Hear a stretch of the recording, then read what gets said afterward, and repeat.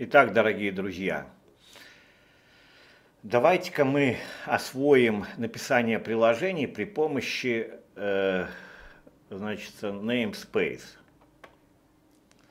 Сначала давайте разберемся, для чего это нужно. До этого мы разобрались, как получать данные э, из URL по Slack. Slack да? э, вообще, прежде чем писать сайт, Э, для тех, кто вот первый раз э, смотрит это видео, вообще это видео для участников школы, я рассказываю. Э, хорошо, мы начали писать сайт. С одной стороны, можно было бы сайт написать там в 20 шагов и э, делать, как делает большинство, которое обучает программированию. Вот это, э, это делаем так, делает то-то, то-то, то-то, нас это мало интересует. Нас интересует момент, почему мы делаем так. Второй момент, который нас э, интересует, мы работаем Django 4, и нам надо хорошо разбираться в документации, опираться на нее. И поэтому э, мы подходим каким образом? Мы подходим э, так, как я описал. Да? Давайте рассмотрим пример, чтобы было более э, понятно, а потом уже перейдем конкретно к урокам. Итак,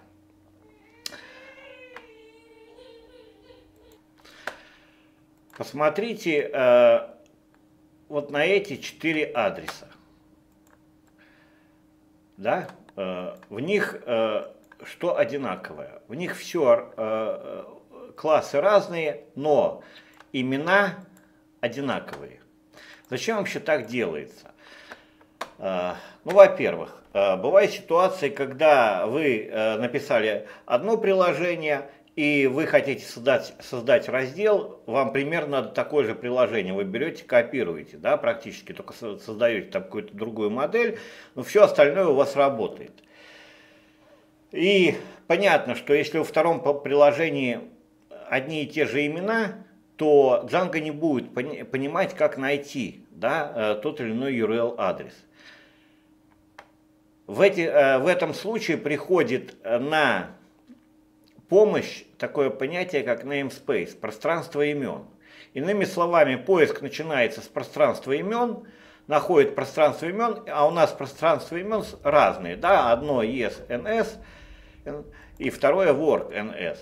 И теперь мы можем использовать. И э, кто-то скажет, да, сейчас, э, да, но это можно разные писать.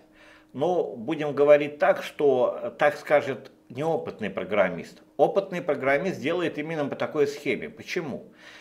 Во-первых, можно легко э, копировать и будут все приложения работать. Только, только немножко корректировать дизайн. Иными словами, нет никакой на самом деле путаницы, потому что второе, есть дело привычки. Допустим, кому-то нравится э, все записи лист называть э, вывод деталь. То есть нет никакой путаницы. На самом деле, когда у вас будет там на сайте 15-20 приложений, и каждое будет иметь свое имя, да, при этом э, вы э, будете на самом деле путаться. Это будет отнимать уйму времени. Со временем к этому придете. С другой стороны, если мы просто оперируем пространствами имен, мы можем запустить, и даже как вот админка в Django, несколько экземпляров одного и того же, и, в общем-то, решает все задачи. Поэтому использовать пространство имен э, вполне логично, вполне правильно и очень круто. При этом мы четко будем понимать, что наши приложения никогда не пересекутся. Итак, ну, э, э, теперь я скажу еще о той вещи, что самое важное это разбираться в документации. Мы до этого э, проходили уже уроки и э, очень подробно разобрались, как извлекать по Slack.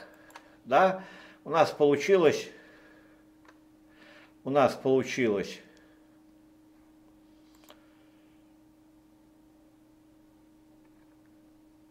у нас получилось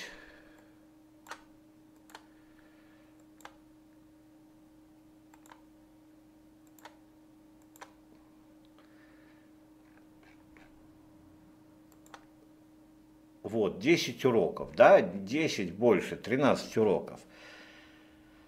А, но а, работали э, с документацией, то есть разобрались. И теперь, по сути дела, одна, две, три тренировки, и мы уже можем планировать. А планировать наша задача вообще по Slack получать, теперь namespace, потом по ПК, то есть каждая запись имеет ID. Ну и уже остальные все варианты для вас будут доступны с документацией, так как вы ее будете уже понимать. При этом э, на что делается упор? Сначала э, немножко черноватого юмора. В принципе, этот юмор относится именно ко мне, 2009-2011 год. Э, но, как я посмотрел, когда работал с исключениями сейчас, да, то есть показывал ребятам исключения, так делает очень много людей. Э, человек получает исключение и говорит, проблема та же, что и тады. Ну а тады что было? Тады хрен кто рассказал. А ты спрашивал? Ну тады спрашивал, почему не работает. А у кого спрашивал? У компьютера спрашивал, у браузера спрашивал, у гугла спрашивал. И помню, тогда был злой, как собака. А в документацию смотрел тогда? А что там смотреть, там ничего не понятно. Ну а теперь работает, теперь это работает. А как нашел? Методом копирования вставки на седьмой день заработало. Так вот такого у нас не должно быть. Поэтому работаем с документацией э, так, как я показал видео. По сути дела, по сути дела,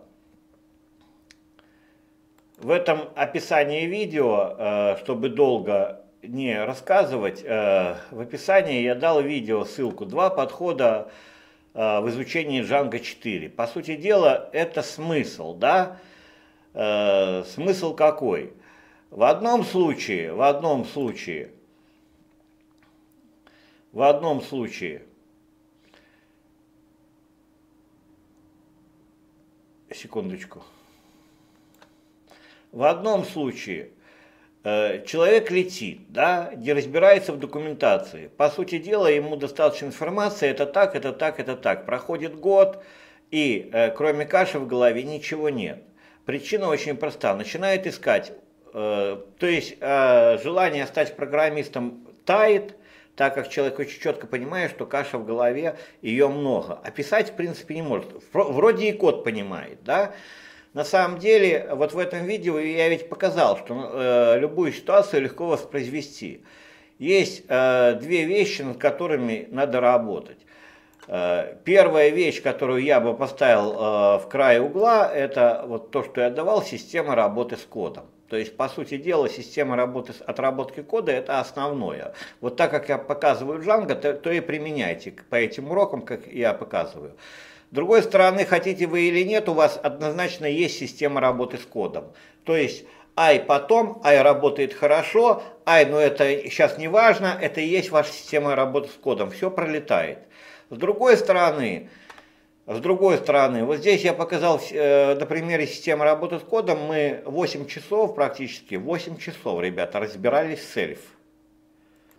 Вошли в классы, научились пользоваться э, методами с двумя нижними подчеркиваниями. Но именно и, и научились так работать с сельф, что именно практически, вот это называется, разобрались. То же самое сейчас, когда изучали Slack, 8 уроков, да, раскладывали и получали запись. Абсолютно верно, все время работали с документацией. С документацией, с документацией, документацией. Почему? Потому что мы идем от нашего кода, который я объясняю, мы понимаем, к документации. Потом начинает работать обратно. Читаем документацию и уже понимаем. Посему посмотрите видео и какой подход используете ли вы, вы и какой вы выбираете, э, это определять вам. В любом случае э, э, их однозначно два. В одном случае вы получаете кашу, в другом случае вы идете вроде бы медленнее, но растете очень быстро. Почему? Потому что разбираетесь, разбираетесь правильно. Все, спасибо.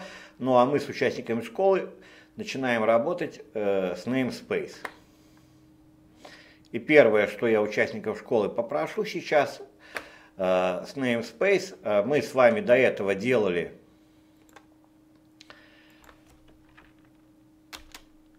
до этого делали по Slack, то есть у нас есть наше приложение include, которое называется GetLink Apps. И э, пока э, впишите сюда namespace, присвойте значение ESNS. Э, можете написать свое. Это я просто написал, чтобы э, было понятно.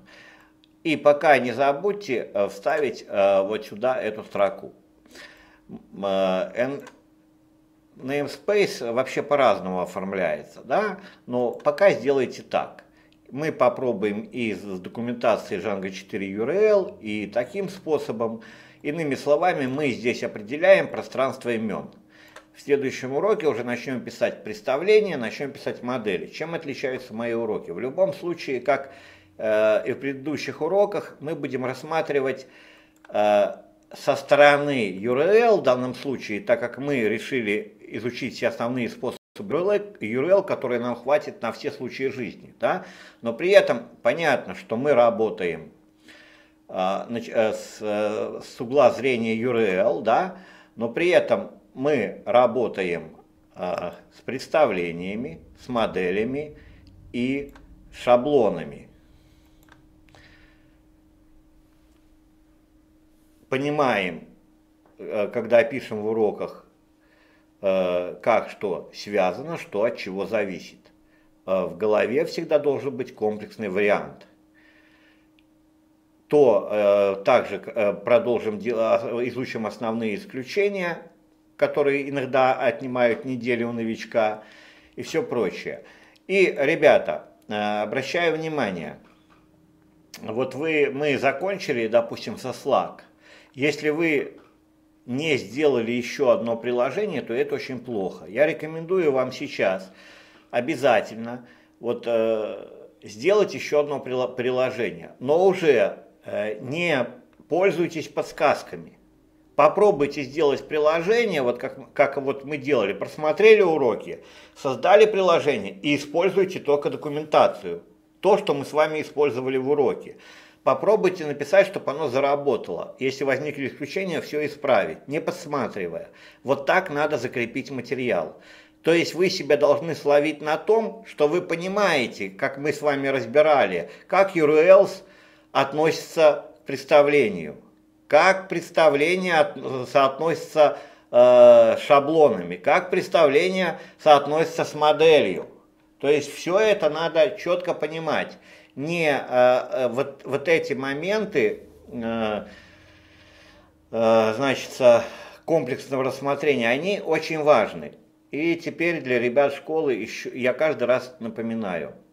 Ребята, все, что здесь есть, а сейчас мы, допустим, открываем модель, видим модель, мета, поля, да, там char field, text field и так далее – Все это попробуйте найти в документации, найти быстро, найти и прочитать то, что мы с вами. Вы четко должны знать одно.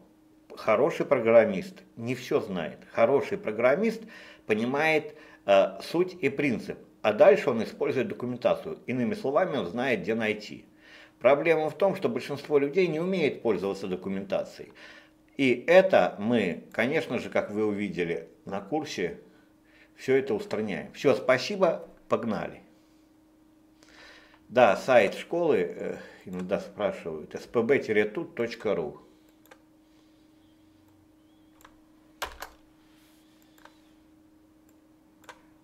Спасибо.